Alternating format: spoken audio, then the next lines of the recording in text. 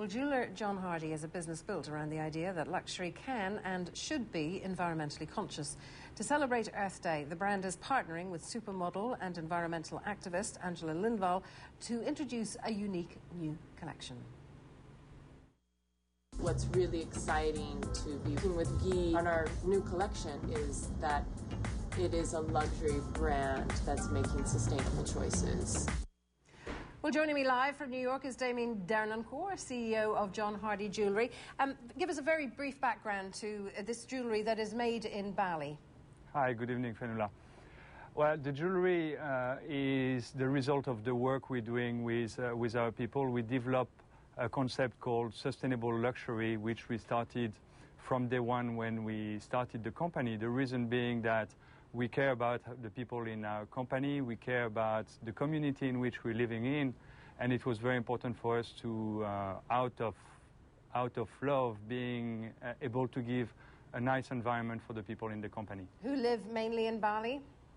Sorry? Who live mainly in Bali, the artisans? Uh, between Bali and New York and Hong Kong, yes. All right. And, and so basically, what came of your thoughts about uh, uh helping uh, these communities?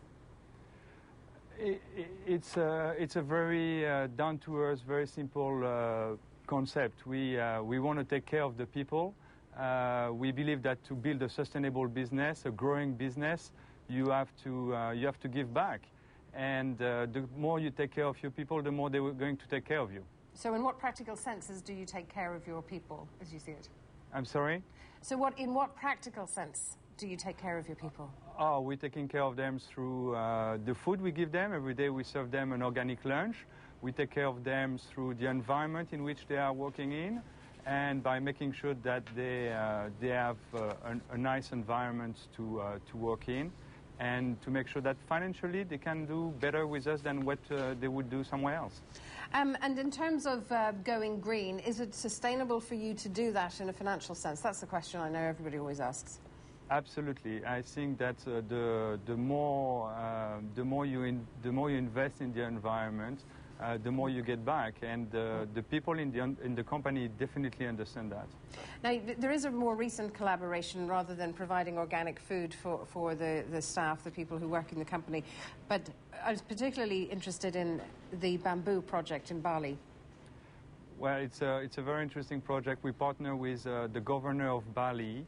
Uh, Bali is a beautiful island. It's called the Island of the God, and everybody thinks that it, it's a paradise, but it's a, a paradise in danger.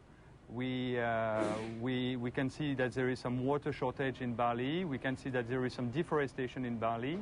And those two problems are very important problems that the whole world is going to face in the next 20 years.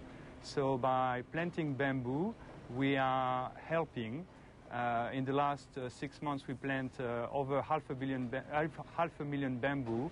To give you an idea, it's about four and a half times the, the size of Central Park. Mm.